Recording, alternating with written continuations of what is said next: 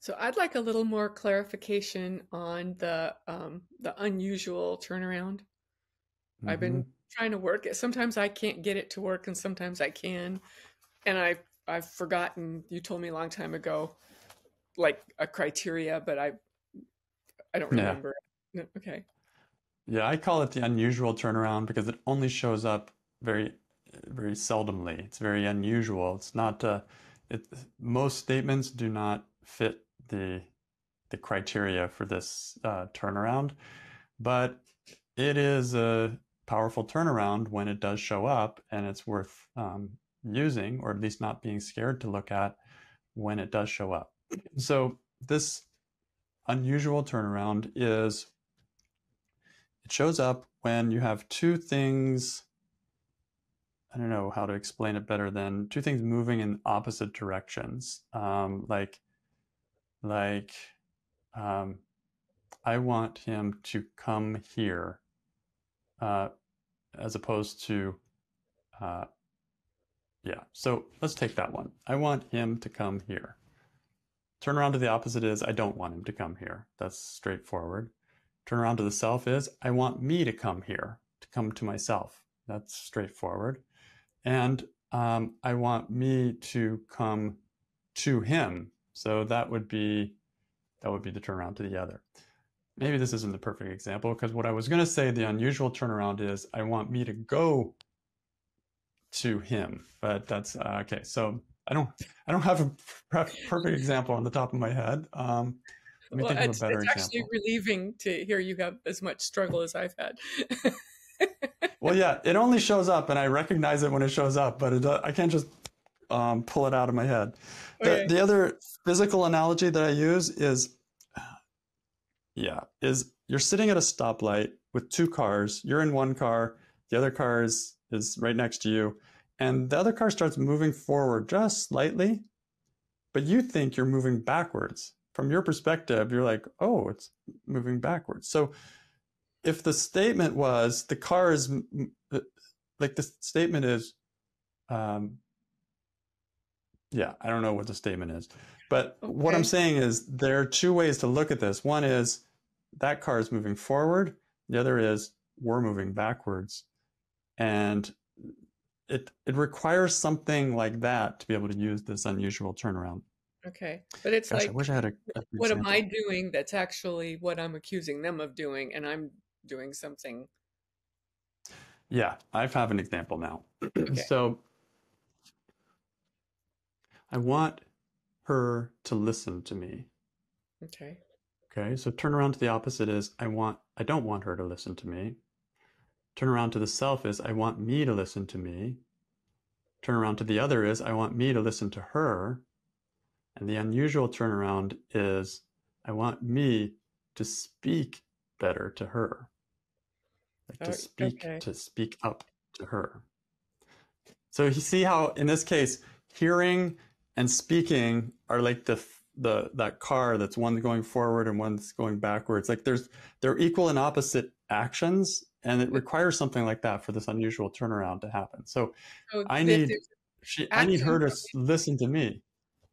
hmm but I, but I, say, and I need to listen to her would be an opposite. But I need, I need me to say something. I like a different word is changed. Right. And what word is it? It's kind of an opposite word of the it's opposite action word of the statement that I need her to listen to me.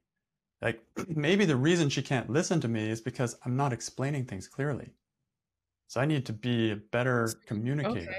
Yeah. Yeah. Got it. Yeah. Okay.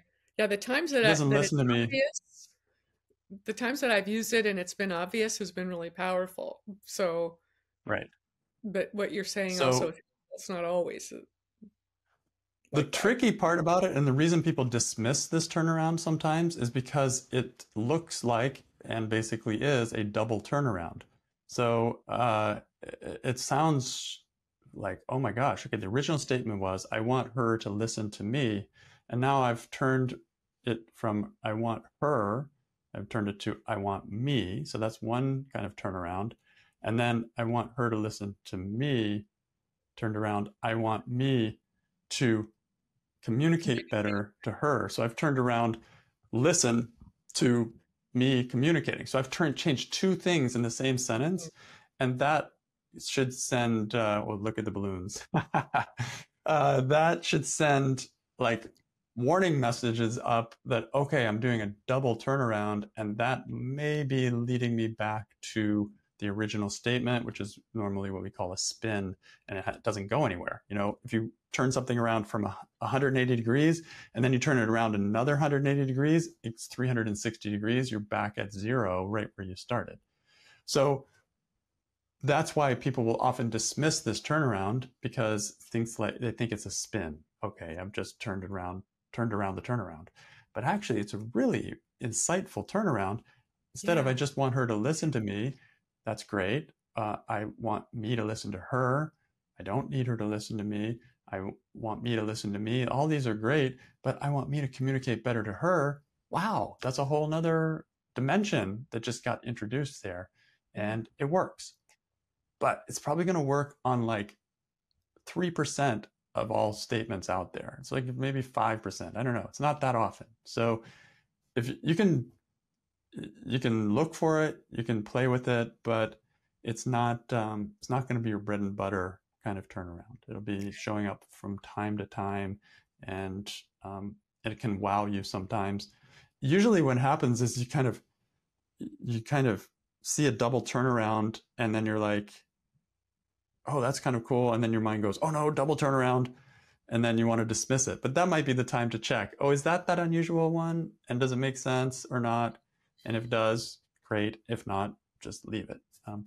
You can tell the difference between a spin and something insightful in that a spin leaves you feeling stressed. It feels like, oh, I'm still a victim. I'm still in the same position that I was when I started.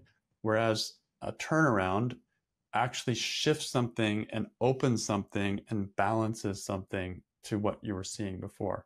And so if you feel that, then it works. I don't even care if it's a even more crazy turnaround than this unusual one here.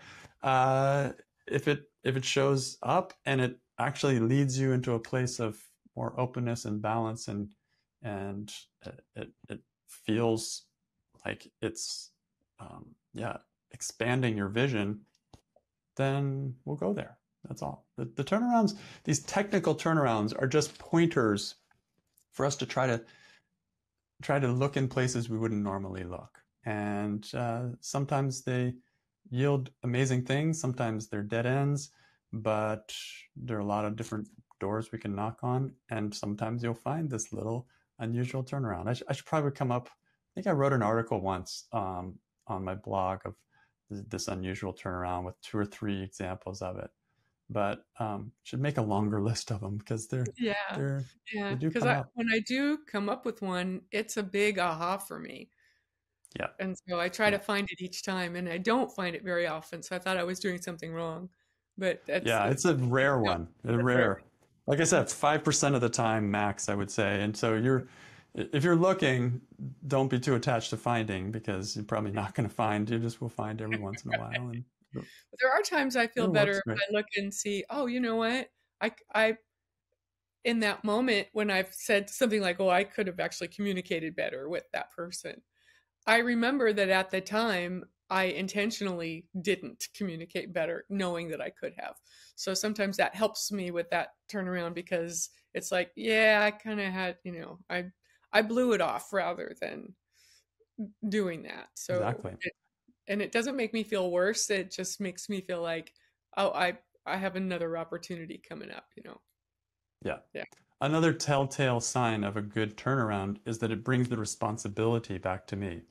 Yeah. And if you take it too far, you can you can beat yourself up with it. That's never the point of a turnaround. But if you if you take it and you see like, oh, I could actually communicate better, then I'm not as dependent on that person listening and I'm not a I'm not a victim of their inability to listen mm-hmm. because I can be a better explainer. I can be a better listener myself. I can be a better communicator. Um, I can, yeah, like that. So uh, it's like a it would be similar to uh, I want my student to be a better student. Well, I want me to be a better teacher. so that I can explain things better to that person, then they will actually be, probably be a better student. So, you know, it's taking responsibility for yourself, and that feels good and it's empowering. Thank you.